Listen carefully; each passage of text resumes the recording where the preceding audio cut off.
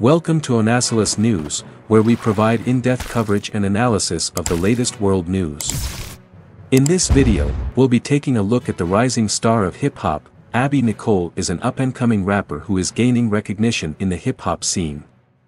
Hailing from Nebraska, she discovered her passion for rap at a young age and has been making waves ever since. Her debut single, Do Better, released in 2018, showcased her talent and set the stage for her rising career.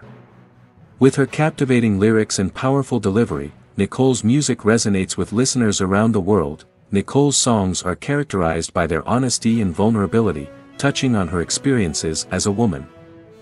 A black woman, and a survivor of abuse. Her music is empowering and relatable, striking a chord with a diverse audience. Beyond her music, Nicole is an entrepreneur, running her own clothing and makeup lines. She is also a motivational speaker and an advocate for women's empowerment.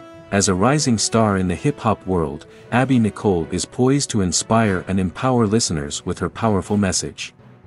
Her music has been featured on popular playlists and she has performed at major music festivals. She is a strong supporter of social justice causes and serves as a role model for young women.